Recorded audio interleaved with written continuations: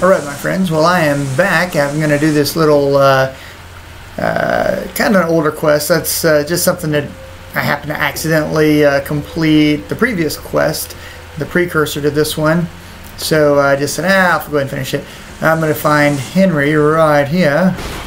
Alright, I like to fight him most of the time with this car because it gives me a little extra protection. So it says kill six minions. This is going to be so easy. You just shoot him up a little bit. And once you piss off Henry enough, he comes out and attacks you. But you're looking for some some treasure. It's a pretty decent shield depending on your build.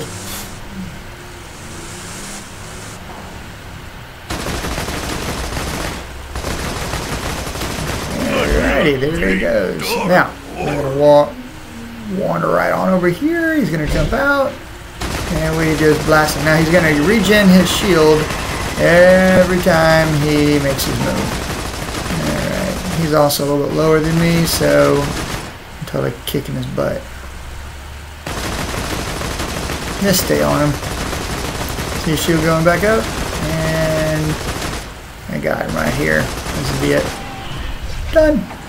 Pretty easy. Of course, this is like a level 17 quest. A super low quest.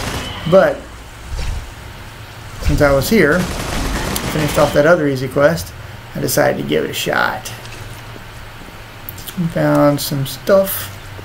Most of it is garbage. By the way, this is uh, Taggart's fist. He got his hand bit off by the giant stalker there. And here is his loot, right there. Use the fist, and you get the stuff. It's the Love Thumper. Not too bad for a level 17 person. Anyways, that is it.